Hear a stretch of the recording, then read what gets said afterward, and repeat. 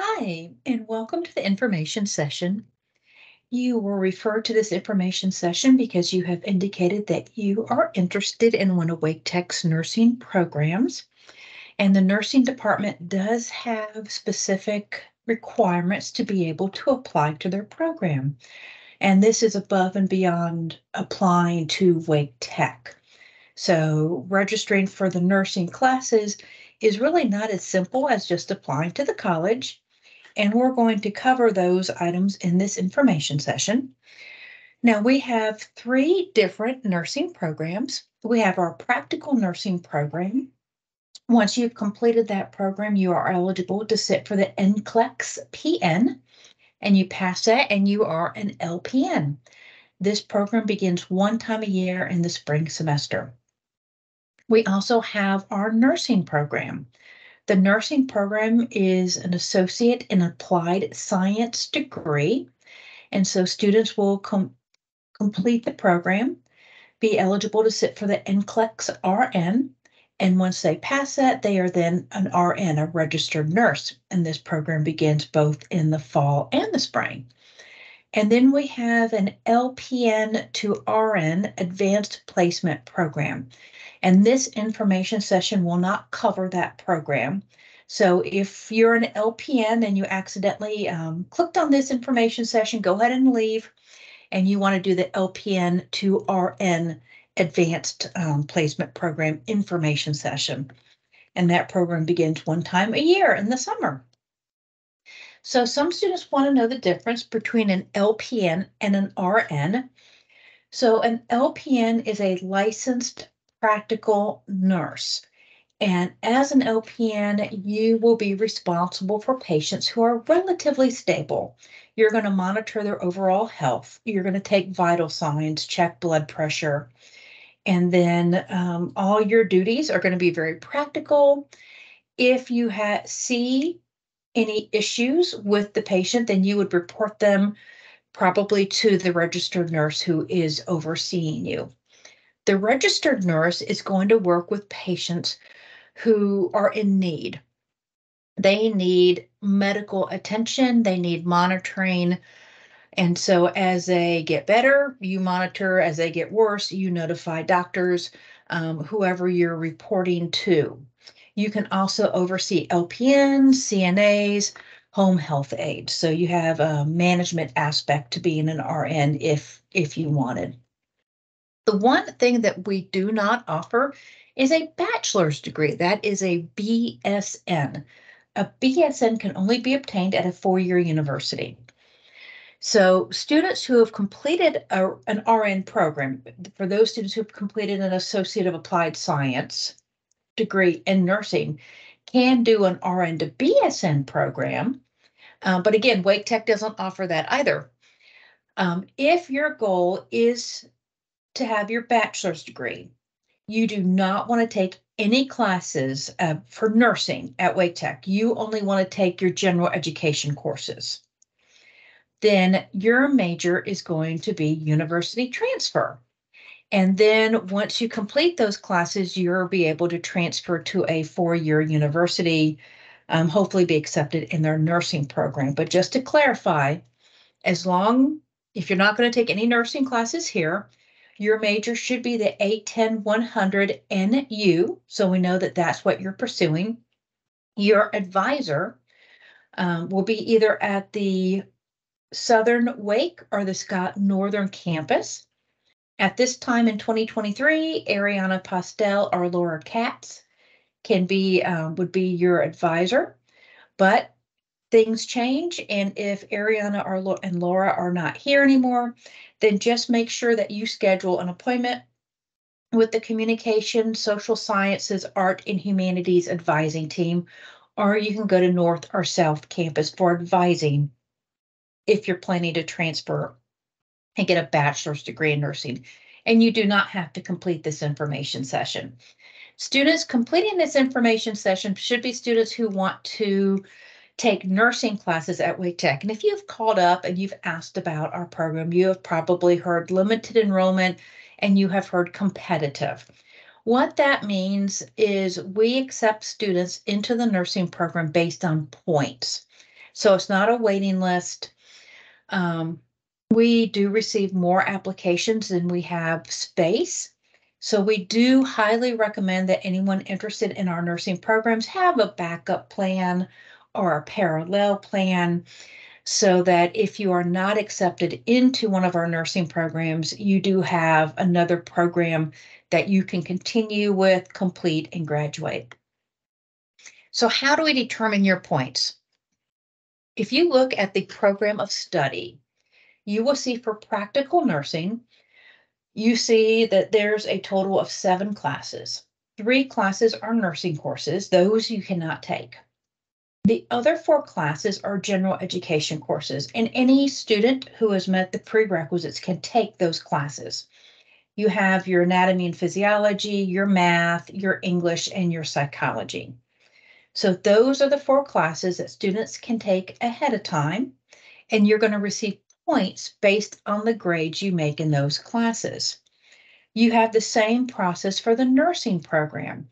Nursing program, you see, um, there's five semesters of nursing classes, and intermingled in those classes, you have nine general education courses. So you can see you have Anatomy and Physiology 1, Anatomy and Physiology 2. You have your English 111, you have your English 112, you've, there's two psychologies, a sociology and microbiology, and a humanities. So those classes students can take ahead of time, and we're going to give them points based on the grades you make in those classes. And if you're not sure which program you're interested in, or even if you wanted to apply to both practical nursing and nursing, you can. They're very similar in their general education courses. Both programs require that English 111, 11, the, the freshman composition course. Both require Psychology 150, general psychology. Both require anatomy and physiology. Now, for practical nursing, it is a five credit hour biology 163 is the entire body system in one semester. Nursing has a total of eight credit hours for anatomy and physiology. They have ANP1, which is biology 168, and we have ANP2, which is anatomy and physiology 2. If you complete the 168 and 169 for nursing, and you decide to apply to practical nursing, we will accept the 168 and 169 for 163. So you do not have to take the biology 163 course for practical nursing if you have 168 and 169 already completed. The only class that is not the same is the math course. Practical nursing has a math class required.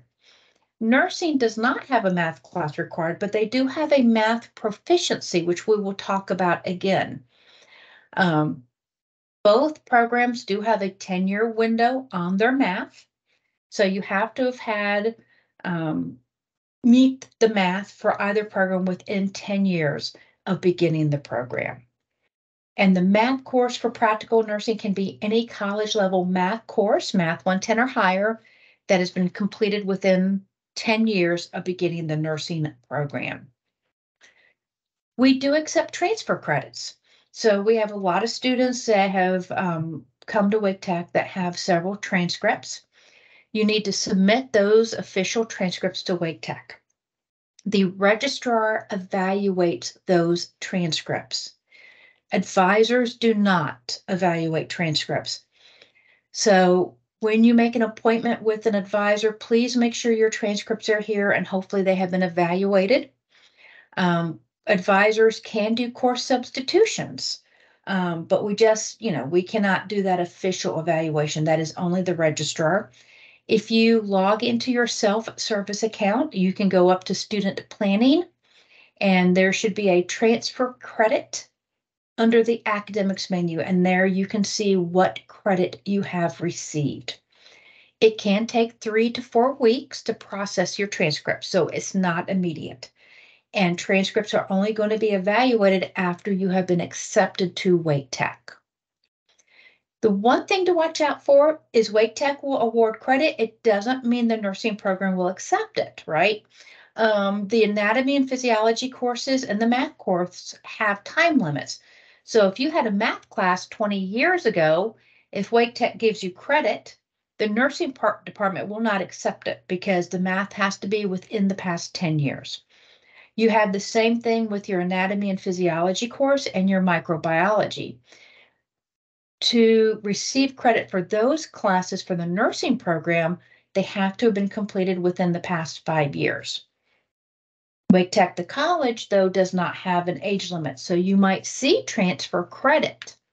But if it's not within five years of beginning the nursing program, we cannot accept them for the program. So just be aware of that for the time limit on the biology and the math. We talked about being competitive. How do we award points? And right here, we're looking at the four classes for practical nursing. A's are worth four points, B's are worth three points, C's are worth two points. We multiply that by the credit hour and that will give you your points.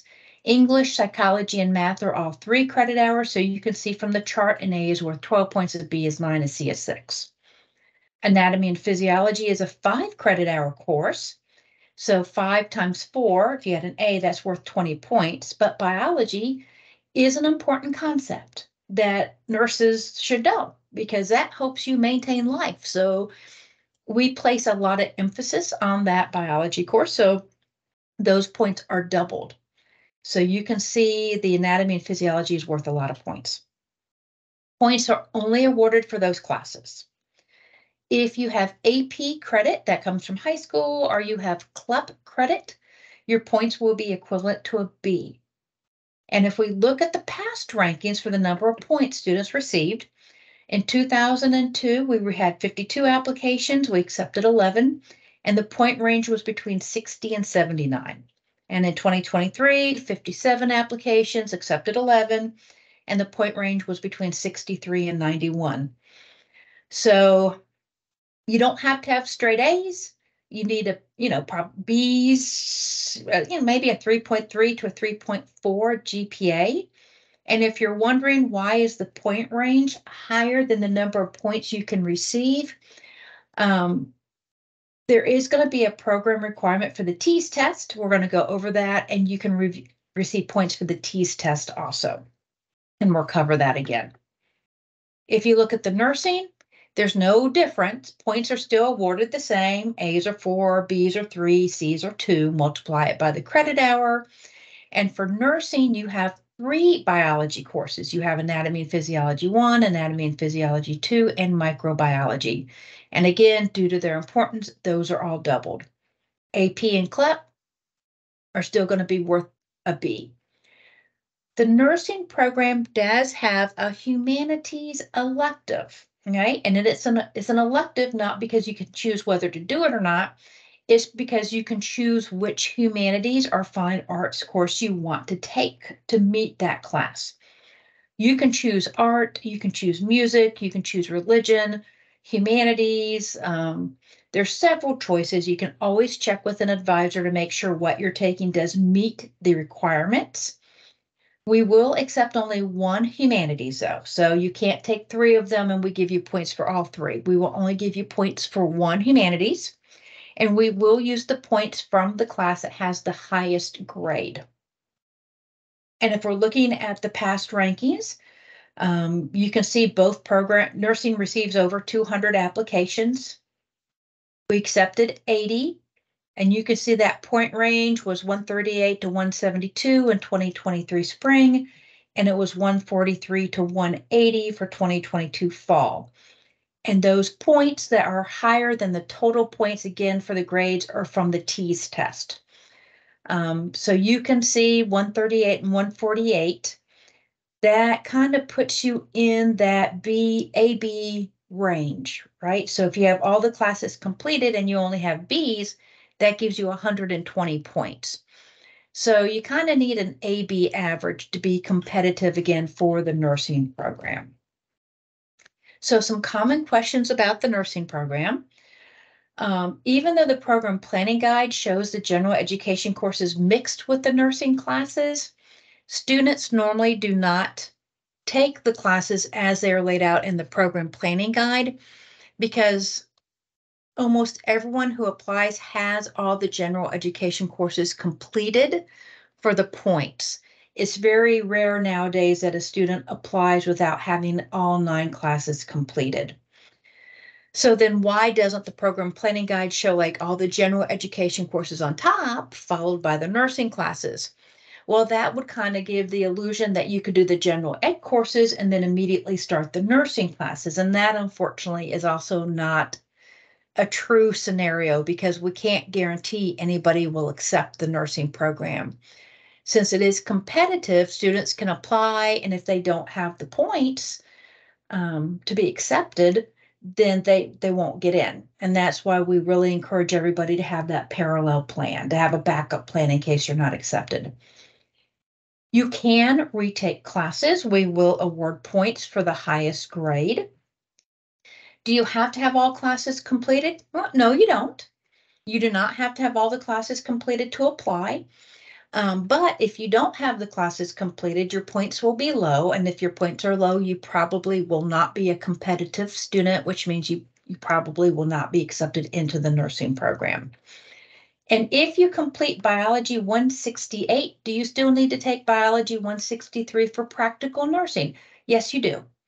Biology 168 is only half the body system, um, so we can't accept it for 163.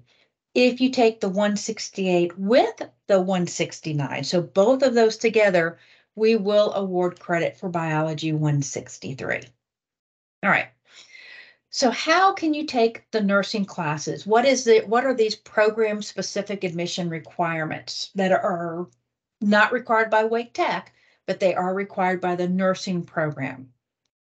So as long as you've been accepted to Wake Tech, as long as you've met the prerequisites, you can register for those general education courses.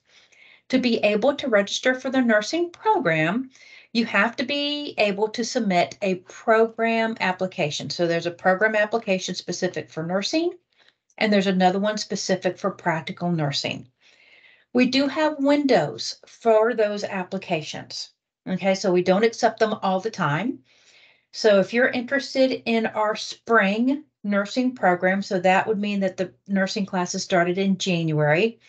You're, you could submit a program application between April 1st and July 31st.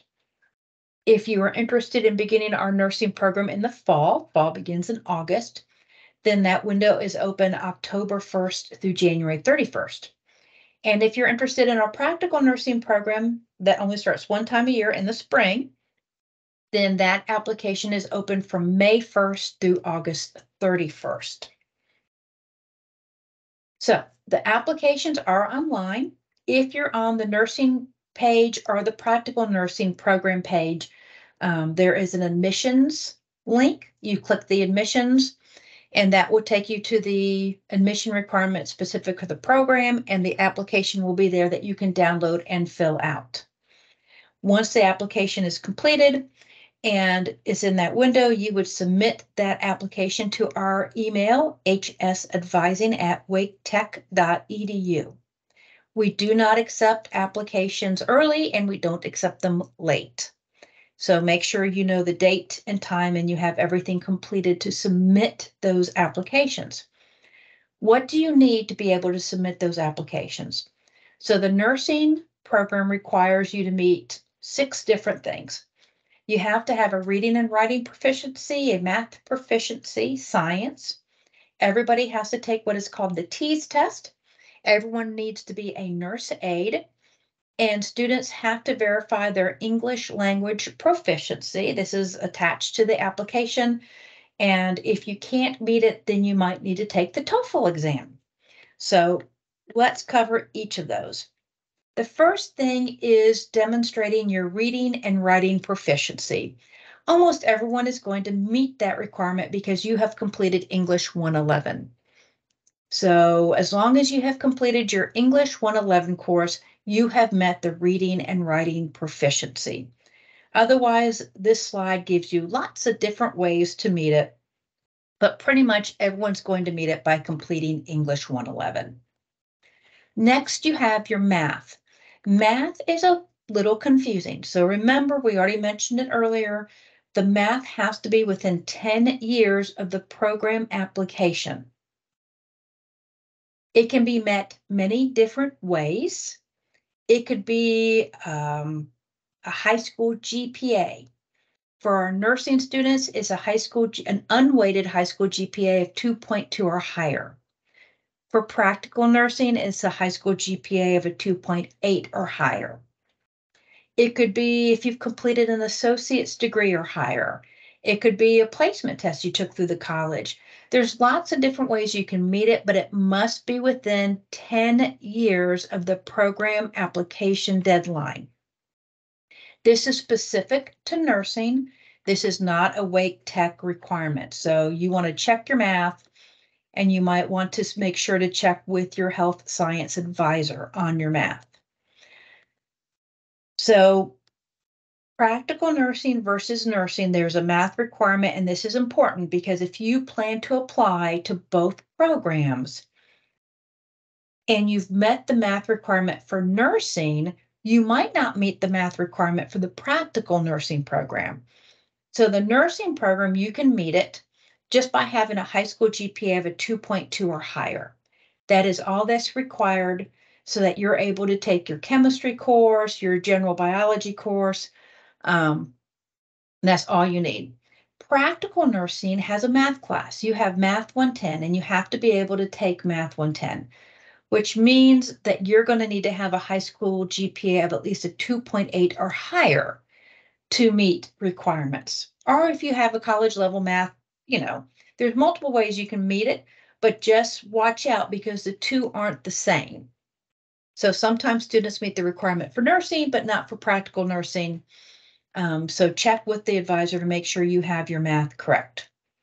Next, you need your science proficiency. And the science proficiency is to make sure that you are able to register for your anatomy and physiology course. Biology 163 and Biology 168 have a prerequisite of chemistry or general biology. Either one can meet that requirement. So if you have had a college chemistry or a college biology class with a grade of C or better, you've met the requirement. If you've had high school chemistry, not high school biology, high school chemistry with a C or better, you have met the requirement. And then if you've completed general biology, or if you've done Wake Tech's chemistry tutorial, you have met the requirement. Now, if you have already completed Biology 163 or Biology 168, and you've already met that, you've already completed those within five years of beginning the nursing courses, then that will meet your science proficiency also. You don't have to go back and take a chemistry. So you need to demonstrate a science proficiency. Next, you have the TEAS test. The TEAS test is the test of essential academic skills. This is a time test. It's comprised of four different sections, reading, math, science, and English. You will schedule to take the test through ATI. Um, you make your reservations, you will pay them for the test. You will take the test and then you will have ATI send us your scores. This test is going to be expensive, so we do recommend that you, you know, don't take it until after you've completed your math you've completed your bio courses because you want to do well on this test. Please note that the TEAS test cannot be more than three years from the program application deadline. So you got to have it within three years of applying. The composite score must be at least a 59% or higher. If it's below 59%, you cannot apply. And then finally, we do have a retest policy. You can test twice in a calendar year, and there must be 30 days between the tests. If you submit test scores that do not meet this requirement, we will not use them. And ATI does have the dates between all the tests listed. So we do verify that there are at least 30 days or more between each test date. We also super score. So what does that mean? When we get your test scores, if you've tested more than once, we're going to look at each test. We round up your scores and then we will average them to give you your composite. And you can see from this example um, that the highest scores were on different test dates. And we will use that to determine your final composite score. And why is this important? It's because besides for your grades, you can earn points for your TEAS composite score. If you have a 71% or better, you're going to get six points. If you have an 81% or better, you will receive 12 points. And if you have a 91% or better, you will get an additional 20 points. And this can be helpful if maybe you have a, a you know, a lower GPA or your grades aren't as strong. The TEAS scores might be what helps get you to a competitive range. So please study up for the TEAS test. Nurse aide. Everyone has to be a nurse aide. That means you have to complete a state approved nurse aide training program. You then have to take the exams to be listed on the North Carolina Nurse Aide Registry. And you must be on the registry by the application deadline. There are no exceptions. So when planning your classes, you have to plan time to take this nurse aide class. And then your registry verification has to stay current through the first day of the nursing courses. So if your verification expires between the time of the application deadline and the first nursing class, you have to renew your nurse aide or else your acceptance will be rescinded. And what you're going to do to verify this is you're going to submit a copy of your North Carolina Nurse Aide Registry listing. Now, the only exception to this is if you are already a Nurse Aide 2.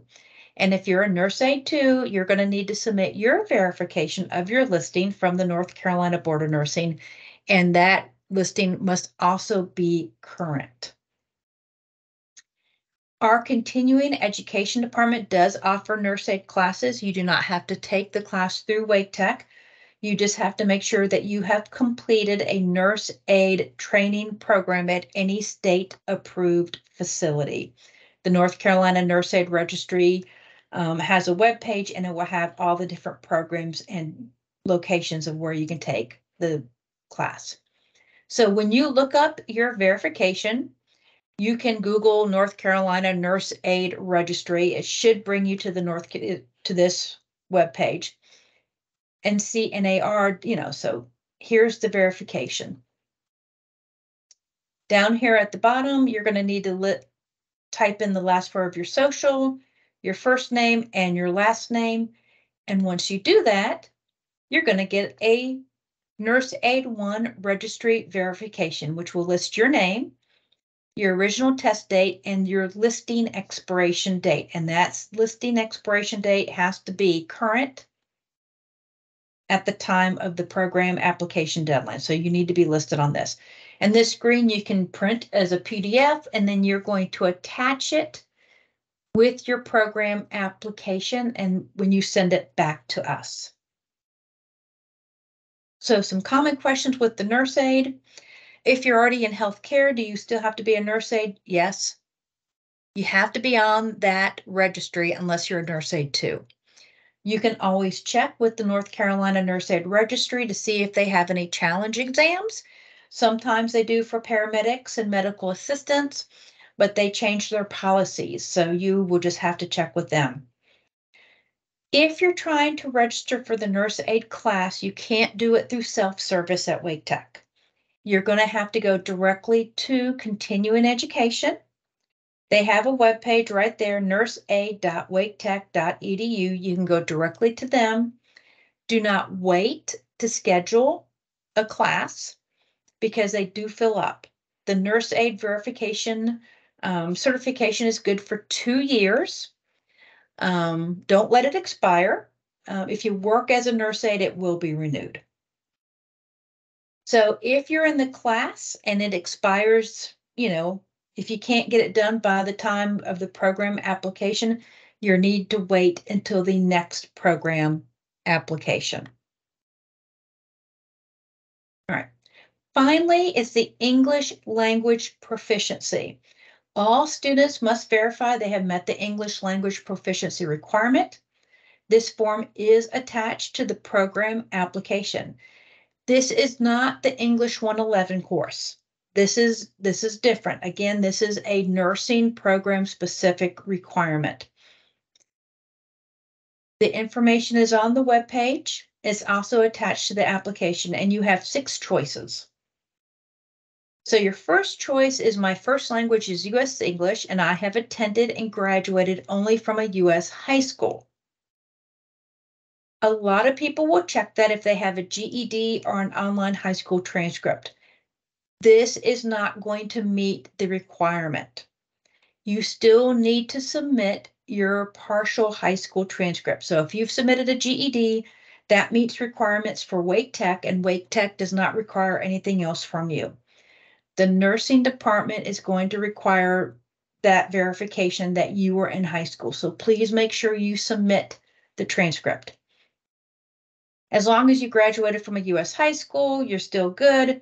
If you completed high school outside of the US in a country where English is the official language, all you're going to need to do is on the form it asks which country this is at. The only statement, my first language is not US English, and I have attended high school outside the United States. If that is your only option, then you will have to take the TOEFL exam. And the TOEFL exam um, needs to be done before the application deadline, and we will need those scores sent to us before the application deadline. Everyone must verify it. The only people who have to take the TOEFL are, is the person, anyone who fills out and checks box number six. So those are all the requirements for submitting a program application and trying to get into the nursing program. Your next steps, if you've already completed everything and you are ready to submit your nursing program application, make sure it's within the window. And you're going to need to submit that application and the nurse aide verification to hsadvising at waketech.edu. Make sure your official TEAS scores are coming to us from ATI. Submit TOEFL scores if if you need to right? And we need everything by that application deadline. If you don't have everything completed, you're new, um, welcome to Wake Tech. You need to register for classes and make sure you've been accepted. So you've submitted a Wake Tech College application, you have submitted all your transcripts, make sure you activate your student account, complete the new student orientation if needed, apply for financial aid if needed, um, and you can schedule an appointment. Anybody is welcome to schedule an appointment with a health sciences academic advisor. To schedule a virtual appointment with us, you're just going to go to waketech.edu. At the top of the screen, there's, um, I think it says menu and then login. Choose menu, and under menu, you can choose advising. When you choose advising, the middle of the screen will say contact an advising care team. When you click on that, it will say choose healthcare and wellness, and that will be us. And there will be a link to our bookings calendar. And you can see there are several different appointments you can take. You can sign up for. Make sure you're aware of the time. If you just have a quick question or you're still not sure what you need to do to begin, then you can pick the shorter appointments. You can see the how do I begin appointment is 15 minutes. The quick question is 10 minutes. If you need advising, advising means you want to know what classes you need to take. Then you're virtual advising for 30 minutes for a new student or a first time student, or you can choose virtual advising for a current student, which is 20 minutes. All right, um, the review program application is for students who have submitted their program applications and now they, they want to review them. How many points do they have? What credits they have? All right, so make sure you pick the right appointment. Now, a few things before applying to the program, just realize that if you are accepted into the nursing program, you do have clinical requirements. These requirements are reviewed um, by the nursing program. Miss Barbara Smith is the clinical compliance administrator. Um, it is whatever is required by our affiliate. So the hospitals will tell us what they want. And then Ms. Smith has to enforce those. So there are criminal background checks, there are drug testing, um, immunizations, physical exams. All of that information will be covered at the time. If you're accepted into the program, Ms. Smith will cover those. Sometimes people have concerns about a criminal background check. You can reach out to Ms. Smith about that. More than likely, you will have to have a criminal background check run if you want any answers, and then it would have to be reviewed. And then finally is just the time commitment. The general education courses can be, be completed in any order, right? They can be at night, they can be online. You can take one a semester. Once you're in the nursing program, all you're going to be focused on are those nursing courses, and those are going to be day only. Nursing 101, Nursing 111 are the first classes that you need. Nursing 101 is for the practical nursing program. Nursing 111 is for our nursing. And you can see the classes are on campus a lot. Nursing 101 is in class seven hours a week. They have six hours of lab and six hours of clinic for a total of 19 hours on campus. Nursing 111 has four hours of class and six hours of lab and six hours of, of clinic. So they're here 16 hours a week. That's not studying. That is completely being a student on campus. So if you feel like it's going to be about two hours per hour you have in lab and clinic and class, you're looking at almost 30 to 40 hours a week of, of studying. So a lot of times when students call up and they want to know the schedule, we tell students to expect day only and a full time schedule. It can be very difficult to try to work while you're in these classes because, you know, it's a whole new concept for you. Um, so we just forewarn people it will be a big time commitment for you if you're accepted into the program. I hope that answered a lot of your questions. If you still have questions, you're welcome to contact us. Our email is hsadvising at waketech.edu. Or again, you can always make an appointment with us. Um, you can go to hsadmissions at waketech.edu and just click make an appointment. Thank you very much. We appreciate you are here. Have a great day. Bye bye.